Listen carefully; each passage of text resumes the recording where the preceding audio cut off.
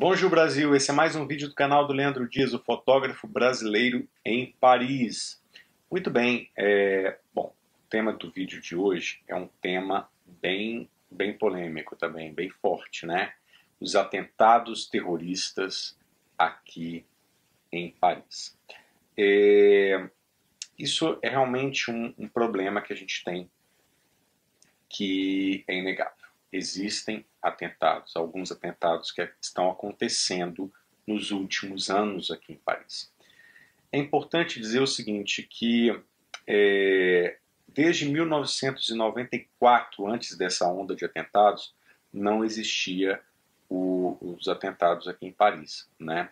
Depois veio o atentado é, quase 20 anos depois começou essa nova onda de atentados aqui e então não era tão frequente assim, né? É, agora é muito importante, como é que é uh, saber, né, para vocês, como é que é a reação dos franceses aqui, como é que é, é, é como a cidade fica nesse período, né, de pós-atentado. Olha, pessoal, é, a gente sabe que é, claro que é uma coisa terrível, porque o atentado ele tem uma, uma, uma, uma característica que é assim, nunca a gente sabe aonde ele pode acontecer e nem quando pode acontecer. Isso é horrível. Mas é exatamente a mesma sensação quando a gente também entra em lugares perigosos no Brasil, ah, em qualquer lugar no Brasil hoje em dia, infelizmente a violência é muito presente no Brasil também. A gente sabe disso, não preciso nem falar é? dos números aí que são altíssimos de pessoas que morrem no Brasil. Morre-se muito mais gente no Brasil do que é, é, é, em guerras, sabe? Por ano são 80 mil assassinatos, né? É, só os números oficiais, a gente não tem às vezes nem acesso a números que, que são os reais, né? Que deve, deve, devem assustar ainda muito mais.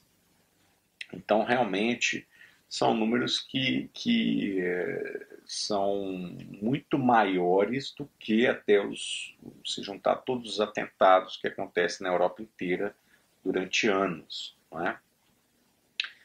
É, e eu acho engraçado porque quando acontece um atentado, muita gente às vezes manda mensagem, fala, nossa, Leandro, você está bem e tal, e naqueles dias do atentado, eu falo, gente, se eu tiver de mandar mensagem, me preocupar com tudo que acontece também no Brasil, né, perguntar, ah, você está bem? Eu fiquei sabendo que aconteceu um crime aí e tal. É, não tem, não tem, não tem nem condição, né? É, enfim, a gente, esses dias eu vi uma reportagem de um jornal no Brasil falando sobre é, é, um atentado que aconteceu aqui, né, que um carro foi em cima de um grupo de, de, de militares que, que, que, lutam contra, inclusive, os próprios terroristas, matou um policial e, e no final a jornalista disse assim, nossa, é, desse jeito não dá para viver, né? E eu falei, gente, mas ela, ela mora no Brasil, né? Então, assim, realmente ela tem que se indignar também muito, muito mais com o que acontece no Brasil, que morrem dezenas, centenas de policiais, não é? é todos os dias, praticamente, né? Morre muita, muita gente né, no Brasil.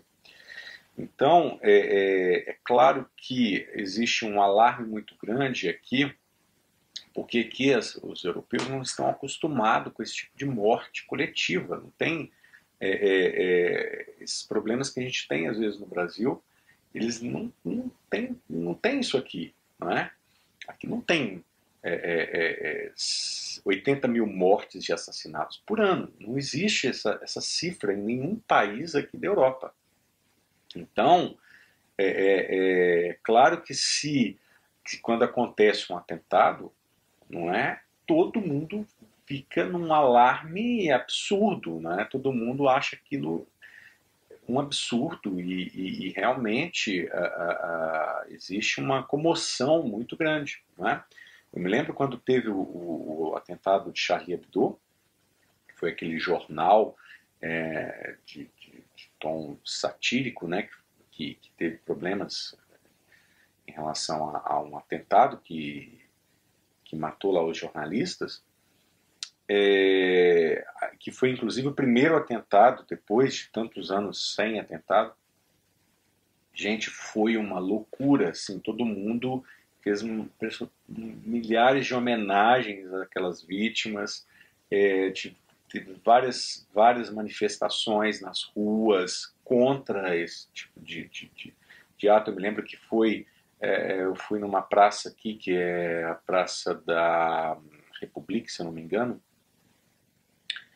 que tem uma estátua lá, eles encheram a estátua de, de, de mensagens e, e o grande símbolo, inclusive, da, da, daquele momento, né, que a frase era Je suis, Charlie, é, era uma caneta, né, porque, tipo, vocês não vão nos calar, né, vamos dizer assim, era um, o simbolismo daquilo. Então, aquela quantidade de canetas, assim, si, é, simbolizando a liberdade de, de imprensa, né, é, e tanto de mensagens, aquelas coisas todas. Gente, é claro que, que, que, que aqui em Paris existe muita, é, muita comoção quando acontece algo assim. E é o que deveria, inclusive, acontecer também no Brasil, a, a, é, vendo tantas mortes, tantas, tantas tragédias que acontecem no Brasil e às vezes falta um pouco isso, né, de, de, do brasileiro também é, é, se comover mais, né, se realmente se indignar, não é, contra esse tipo de coisa.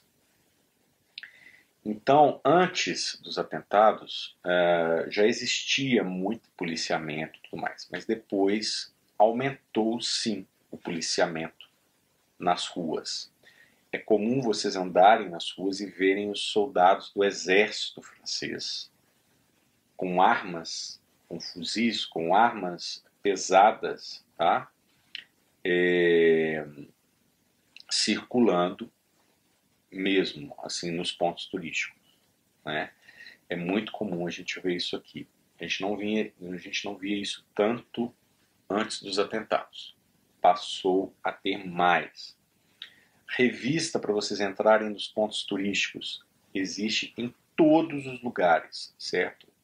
Detector de metal aumentou muito. Você vai entrar num supermercado, numa um qualquer comércio que eles colocam segurança para revistar as bolsas, para isso realmente existe muito também aqui em Paris, não é? Então é claro que é, é, é um problema, mas é, eu posso garantir para vocês que não existe é, pânico, não é assim, a gente não vive nessa situação. Nos primeiros dias depois dos atentados, as pessoas ficam mais reclusas um pouco, é, é, existe um alerta, um alerta né, das pessoas evitarem sair, mas nada que vai atrapalhar de tudo a rotina do, do, do, do francês, não. E coisa assim de dois, três dias, eles já voltam praticamente ao normal, tá? Para o turismo isso prejudica, claro.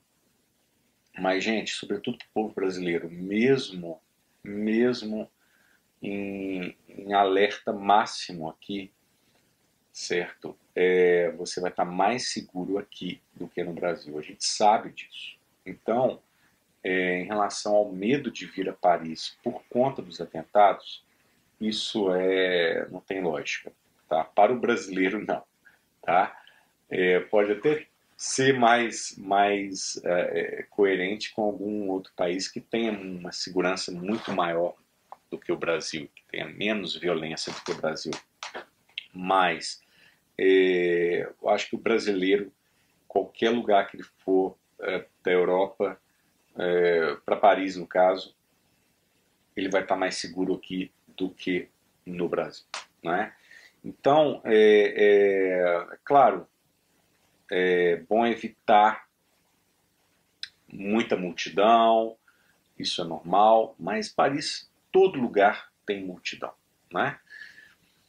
Então é isso, eu quis mostrar um pouquinho para vocês, falar um pouquinho sobre isso, porque às vezes é um pouco até vira tabu, né? a gente não pode tocar muito nesse assunto aqui, as pessoas não falam muito sobre isso nas ruas, não, tá?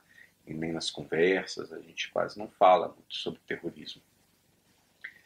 Mas é, é algo que é presente, a gente, mas é claro, pode acontecer, mas que não é uma coisa corriqueira, acontece um todo dia, não, não existe isso. Não é? Graças a Deus já estamos alguns meses sem acontecer grandes atentados. Houve um agora recente, foi esse último que eu falei, de um carro que atropelou um grupo de policiais, morreu um policial. Não é? Teve um outro policial também que morreu na Champs-Élysées no ano passado, se não me engano. Tá? É...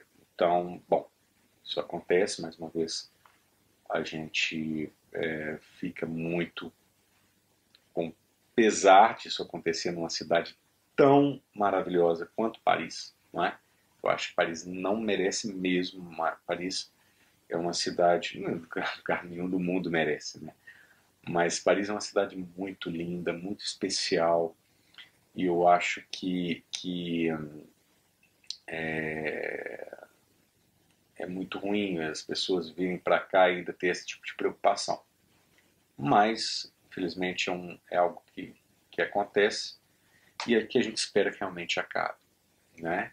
Como eu espero também, claro, que no Brasil também a gente é, consiga não é, é, viver sem a violência, que é um verdadeiro terrorismo. Não é?